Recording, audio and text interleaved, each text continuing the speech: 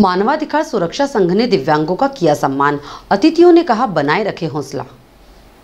शहर के जेतापुर स्थित माँ रेवा न्यास धर्मशाला में रविवार को मानवाधिकार सुरक्षा संघ द्वारा एक दिवसीय दिव्यांग सहायता समारोह आयोजित किया गया।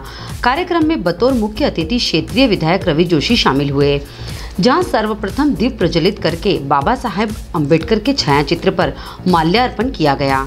तत्पश्चात सभी अतिथियों का पुष्पहार से स्वागत किया गया।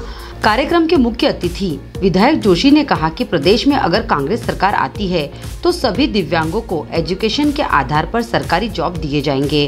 क्योंकि विकलांग हमारी जान है, दिव्यांगों के हित में बनाई गई शासन की किसी भी योजना से अछूता नहीं रखा जाएगा। विशेष अतिथि चेयरमैन हरीश हरिश्चंद्र गुरुजी ने कहा कि दिव्यांगों के लिए रोज़गार पंजीयन चालू है। ऑनलाइन अपना पंजीयन करा सकते हैं। वह अपने जीवन में कभी हार न माने, हौसला बनाए रखें। वहीं राजस्थान से पधारे मानवाधिकार संघ के ओम प्रकाश ने बताया कि मानवाधिकार सुरक्षा संघ गरीबों की हमेशा मदद करता आया है।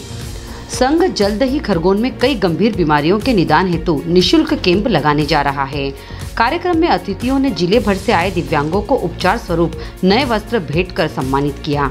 राजस्थान के प्रदेश अध्यक्ष विक्रम सोलंकी भी विशेष रूप से उपस्थित रहे। आज जो हम रेवानस में हमने जो आर्थिक रूप से जो कमज़ोर दिव्यांग व्यक्ति है, वो उन लोगों के लिए सहायता का कार्यक्रम किया है। हमारे से जो भी कपड़े टी शर्ट महिलाओं के लिए साड़ी और भोजन की व्यवस्था रखी गई है।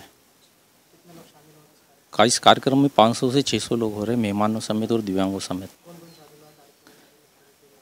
कार्यक्रम में हमारे मुख्य अतिथि में माननीय रवि जोशी जी आ रहे हैं। हमारे चेयरमैन मानवाधिकार सुरक्षा संघ के हरित हरीश चंद्र गुरु जी आ रहे हैं और भी बहुत सारे हैं अतिथि। Digiana news demand report, Khargone. Nimar की पल पल की खबरों से अपडेट रहने के लिए हमारा चैनल डिजियाना न्यूज़ निमाड़ को सब्सक्राइब ज़रूर करें।